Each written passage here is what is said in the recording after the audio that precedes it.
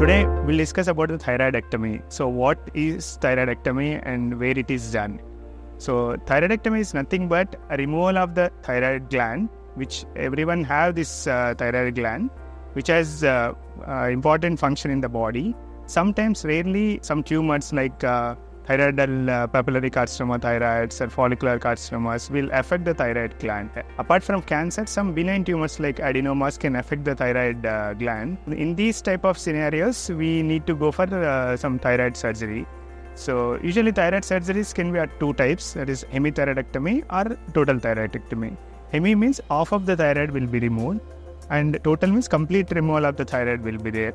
And as we know, the thyroid has two lobes will be the right and left, and in between the part is called isthmus. So if you remove one lobe with isthmus, it's called hemithyroidectomy.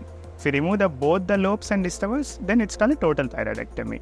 Usually, the total thyroidectomy uh, will be done in a malignancy cases like uh, papillary carcinoma, thyroid, and all cancer-related uh, issues. We do the total thyroidectomy. Whereas the hemithyroidectomy, some for the cold nodules or some adenomas, we do and very early uh, papillary carcinomas, micropapillary carcinomas, we do right hemithyroidectomy. So in this, the main important uh, thing is, as we know, the thyroid uh, is surrounded by an important uh, nerves. So like uh, voice nose, what what it's called. There's recurrent laryngeal nerve and uh, external laryngeal nerves. These are important nerves which we helps for the normal voice and singing. During the surgery, it's very very important to preserve these nerves.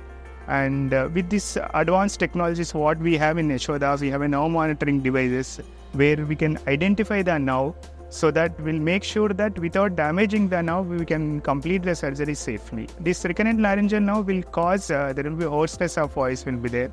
Whereas the external laryngeal nerve, it's called a singer's voice. Particularly the professions where the patients are in a teaching field or some singing field, this now is very very important. So the pitch of the voice will be well maintained with this. And apart from this uh, the one more uh, important thing we have to uh, taken care is the parathyroid glands which helps for the calcium metabolism in the body. So during the surgery we have to preserve these uh, parathyroids so that the calcium balance will be well maintained. So it's always uh, better to have a uh, thyroid surgery under expertise uh, guidance and with the advanced technologies available. Recent days, without uh, giving a scar in the neck, we started doing a robotic uh, thyroidectomies. But there will be uh, definitely there is small few indications will be there that we can decide depending on the patient characteristics.